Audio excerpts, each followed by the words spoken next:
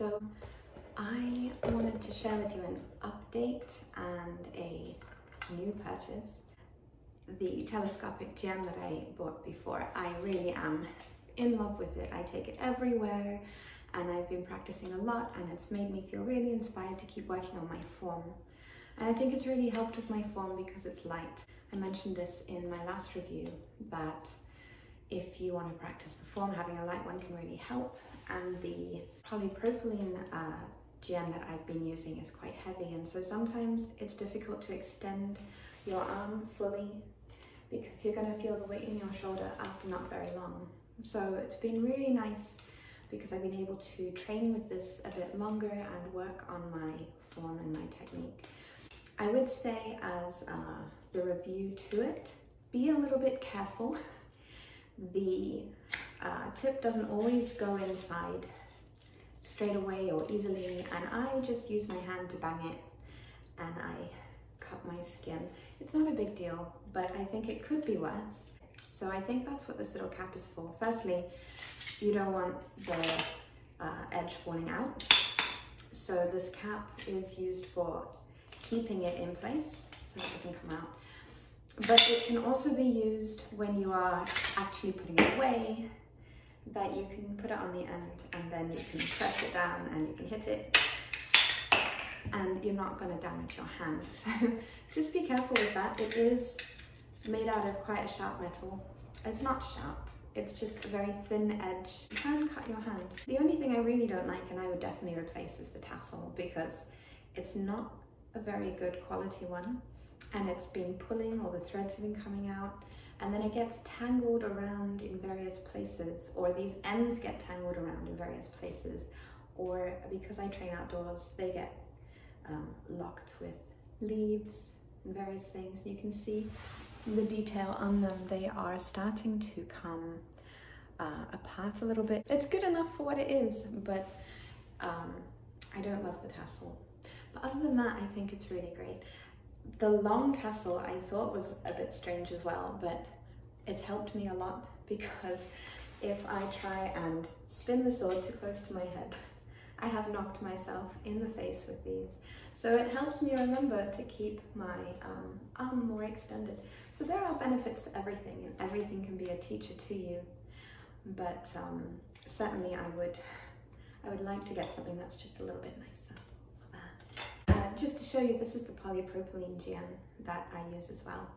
And it is really great because it is really heavy. I weighed it and it's a kilo. So um, that is about the weight of a katana, a light katana, which is normally two hand. So I was so impressed with the telescopic jian that I decided to buy the slightly more expensive version, mainly because it's more heavy. I ordered this brand from China, which you can get on AliExpress for about $30, or I got it on Amazon in Japan for about $50 because I didn't want to wait a month for it to arrive. And overall, it's a bit more premium. It comes in a quite a nice little um, not leather, fake leather pouch. It's got like a soft lining and the actual jian is made out of steel this time instead of aluminium. And it weighs somewhere in the region of 500 grams, I think 450 or something like that. And it's just a better quality. So you can see that it's got a, um, a fully metal handle. And this is a plastic, I guess, grip on the handle itself. It's got a metal protecting cap for the blade itself. And it's got quite a good quality tassel, although this one's huge. It's like as big as my head. So it'll be quite interesting to see what it's like to use this one. It is actually longer, so I'm probably gonna hit myself in the head with it even more than I do now. so if you shake it out, it works exactly the same as the other one in terms of how it works, but they say that it is steel and I'm about to test that. So there's a really easy test to find out if something is steel or alloy which is with a magnet. So this is definitely alloy. And uh, this is not sticking. So I'm not sure if this is stainless steel. It's not stainless steel if it doesn't stick to a magnet. And this is not sticking. So they claim that this is stainless steel in the item description. And it looks very nice. I mean, if you look at the detail. So I think it's definitely plated and that may start to cause the uh, finish to look quite poor quite quickly.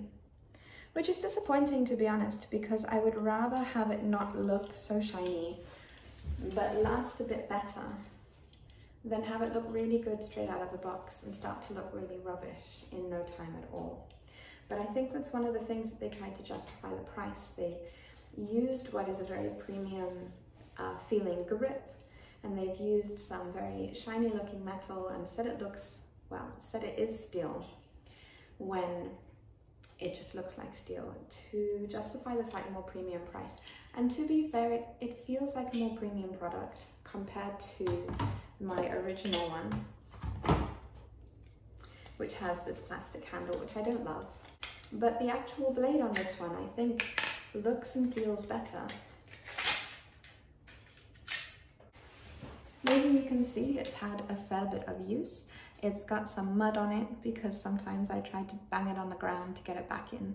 But it's got no um, obvious signs of wear from where the blades are sliding in and out of each other.